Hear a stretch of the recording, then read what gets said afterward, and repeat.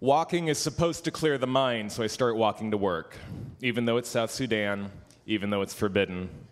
I've become confused as to why I've come to Sudan. I've flown across the world to help develop its lower third, but all I've done is sit in an air conditioned trailer making spreadsheets behind a concrete wall topped with barbed wire that protects me from hundreds of dying people. This confusion has begun to feel more dangerous to me than bucking protocol, so I walk.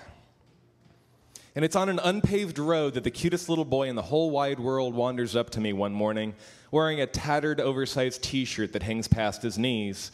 He hits me with a pearly white blowtorch of a smile and starts singing a little song of his own creation that goes, Kwai Joe, Kwai Joe. And this means foreigner or whitey, depending on who you ask. And the little boy holds out his hand for me to take, but here's the catch. The scalp of the cutest little boy on earth consists of oozing sores and is swarming with flies. His precious little head of curly hair is yellow from malnutrition.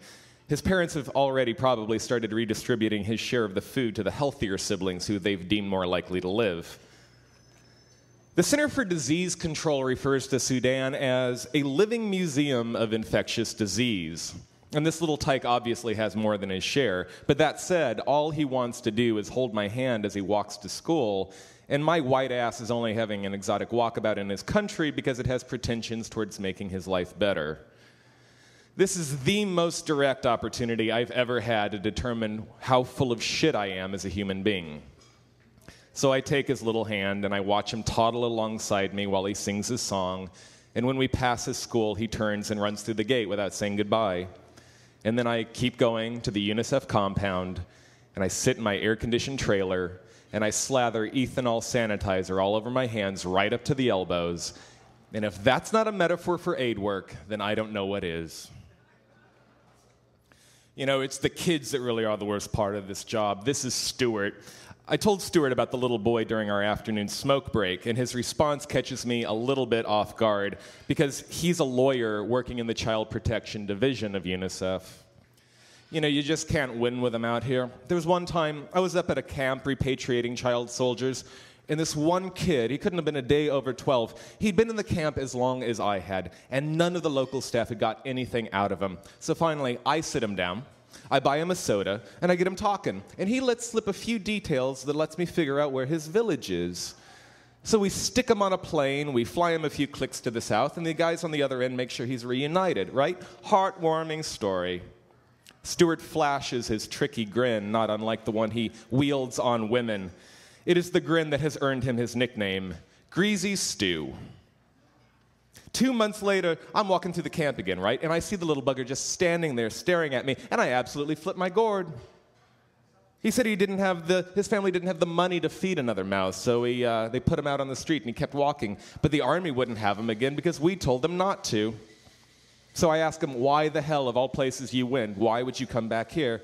And he says to me, I like the soda. Oh, that's the last time I ever buy a kid a Coke, I'll tell you that much. Stuart rubs out his cigarette on the side of a tin trailer and drops it into an empty coffee can. So, how do you keep doing this then? Oh, you know, I just keep looking on the bright side generally. See, there's a new German girl that just moved to town. She's quite fit, definitely worth a squirt, and her name is a good omen. All right, what's her name? Hmm, Vander Kock. And a naughty Oxford boy, naughty Oxford smile splatters all over Stu's face. So walking to work is not doing the trick, so I graduate to running. Stuart often mentions how often he likes to jog, and he isn't ta- when he isn't talking about anticipated sexual conquests or his love of snowboarding, so I ask him if I can join. I wait for him to change in our dining hall, where I have a burlesque view of his bare legs descending the staircase, leading up to a pair of day glow orange running shorts, slit up the side, right to the hip. Are you ready? Stuart adjusts a matching neon sweatband on his forehead. So, do you want to uh, set the pace or do you just want to follow? No, no, I say. I'm going to try to stay in front of you for as long as I humanly can.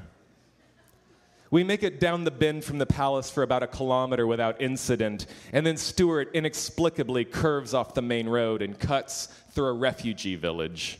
And that's where the heckling begins. Hey, Kwaijo! Kwaijo! I tell myself the refugees are just surprised at seeing two white men running in the late afternoon heat, for no better reason, and with no enraged mob at their heels. But when the rocks begin whizzing past, it becomes clear that Stuart's dress has offended them. Oh, that one almost hit my head, he calls, grinning, and then he cuts back into a less inhabited street. Vegetable plots are there and struggling fruit trees. They're occupying the small fields to our right, and to the left, construction projects for the warlords and the nouveau riche merchants. A stream of sickly looking water is pouring out of one of these developments, and it's pooling and parasite breeding stagnation in our path. A skinny Sudanese man in a red t shirt and ragged pants pulls himself on his belly with terrible exertion out of the orchard he's been lying in and across the road until he can lower his face to the iridescent slick. Oh, man, Stuart says, don't drink that. The man's eyes flash ferocious at us, but he does not try to rise. So we run past him in a very, very wide berth. What the hell was that? I ask. Oh, it's either sick or drunk, I imagine. Well, should we do something? do what? Do you want to go back and talk him into going to the clinic with you? He didn't look like a particularly friendly cat to carry. And I do not want to carry the man to the clinic, so we round the bin and he's gone from sight. And then there's more catcalls and shouts in Arabic and Dinka, and it moves us on at a fairly decent pace until we are able to return to the more inhabited sections of Juba and finally back to the palace. So, yep, for going around again. Stuart jogs in place. He's turned pink from the exertion and it's clashing with the orange, and I decide to call it with just the one lap. Back in my room, as I'm pulling off my clothes, I hear a child crying outside my window. It's not an uncommon sound, except for its persistence. It grows in intensity over the better part of half an hour. I climb up to the roof and I lean over the ledge to see.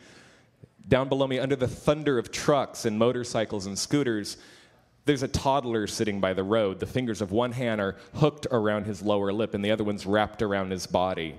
He's rolling his eyes up at every passerby and bleeding a cry directly at them, no longer just indiscriminately wasting his lungs. He sounds to me like a baby goat that's lost his mother, and he is ignored with the same ease of any other crying animal. Some of the men and women living in the lean tos down the road, they're out drawing their water for the evening, and they notice me on top of the palace. Yells and gesticulations are thrown my way, indecipherable but certainly unfriendly, so I slink back. And the child is still at it when Stuart returns. You know, we should do something. He's 20 feet away. We just can't ignore him and let him get run over. Do what? Take him where? The mum could be just down the line at the well. Maybe none of the locals are doing anything because they know him. Do you really want them to watch two Kwaijos walk out of their compound, cross the street, and abduct a child? Do you really think that would end well for us? Come on, man. Come get a beer before dinner. The toddler's crying grows fainter when we reach the end of the block, and it's out of our ears altogether when we sit down with our two warm brews. I don't know how you keep at this, man. You're right. The fucking kids, man. It's just like watching the horse that drove Dostoevsky insane. Stuart rolls his shoulders back and he eyes our Kenyan waitress's ass. You know, I'm not familiar with that. It's hard to watch, is what I'm saying. Oh, yeah, well, first of all, stop walking to work. Second, you just got to have your goals, right? I mean, I figure I'll be at this for at least two more years and then I'm done. Is that your limit? Well, you know, that's when I figure I'll have enough put away to pay off the second home. I'll have one in Sweden, one in the UK, one for skiing, one for the city. And then I can retire at 35, take a wife, maybe open a sporting goods store. You know, get back to snowboarding.